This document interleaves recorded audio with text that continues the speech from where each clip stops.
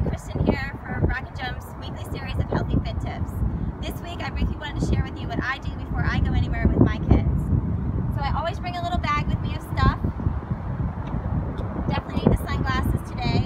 The sun is bright, so that's always good. I, I have a pair of um, children's sunglasses in here as well. Water bottle. So I always bring a water bottle with me, some for the kids. I like to buy those little miniature Deer Park water bottles. They're BPA I bring some prepackaged snacks. So I have cashews and almonds.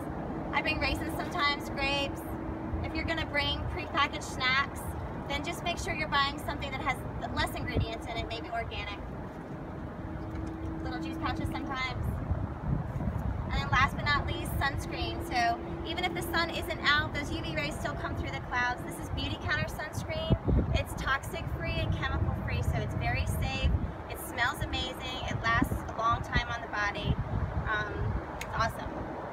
That's it for this week.